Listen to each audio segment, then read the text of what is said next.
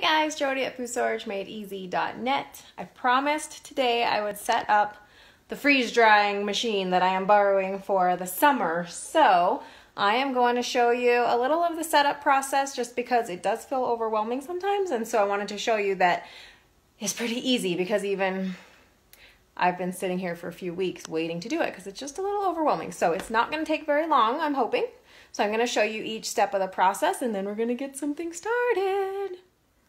So the first thing the instructions said was to take off the gasket and um, rinse it off with cold water. So I did that and I'm just gonna stick it back on here. Um, but I'll probably need two hands, but it comes off and on, not, it's not too hard. So you can see I'm just pushing it back into the slots there. So that was step one. Okay, so the gasket is all back on. And then you also wanna check and make sure your little you see them here? The front ones are higher than the back ones so that it um, is at a little bit of an angle. So you want it to angle towards the back, okay? And then it's time to put in the oil into your vacuum pump. So there's the oil fill level, so you want to fill it up to that line.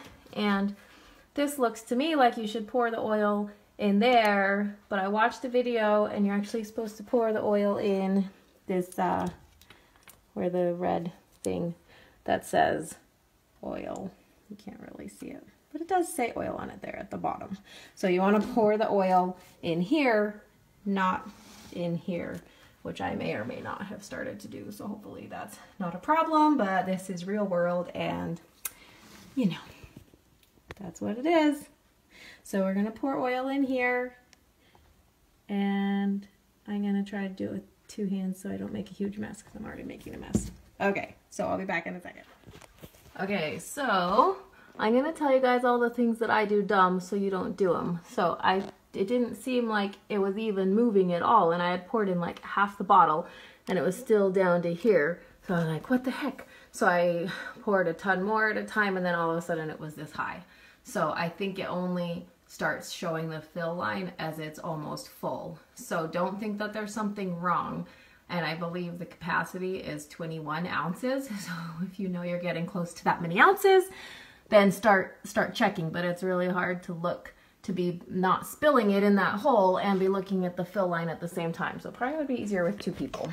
So I'm gonna put the lid, the cap back on, Hopefully it's okay that it's overfilled a little bit. In the manual it says it must be above that line. So yeah, let's see. Okay, there you go. That's the oil. The next step is to connect the hoses, the hose between uh, the, the pump.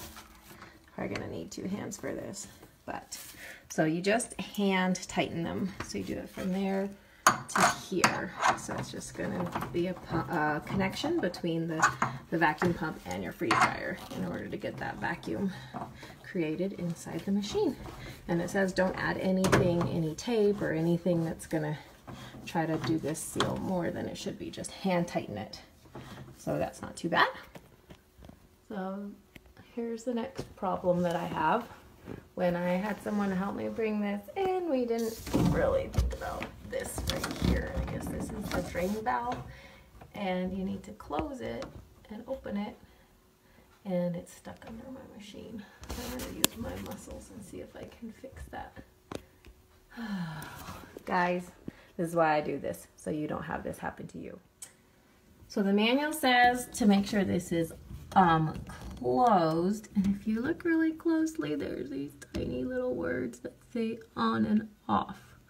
So I'm assuming off means closed. So we're gonna leave it up. Hopefully we don't have a leak because that would be bad. But I've got it out. This is not the most ideal location for this, but I really wanted it to be inside so that I can use it more. I feel like I'll use it more and it'll be more protected tucked away here in my office. So we're almost ready to go, yay! the very last thing is to plug the plug there, this plug into there and plug it into the wall. And then we're gonna do a test. Okay, so everything's plugged in, turned on. So now we're gonna test the pressure. So it says to push start reminder to close drain valve. That doesn't mean that it's closed. It just reminds me, which it is. And now that's the um, pump starting, I think. So it says initially you'll see freezing and then to click the clock button. Oh, I don't know. Oh, now that's the pump. And a little oil out because of what I accidentally poured in there. So that's my bad. We'll work on that. And now it's going to show the torque and apparently over the next 10 or 20 minutes, that's going to reduce down to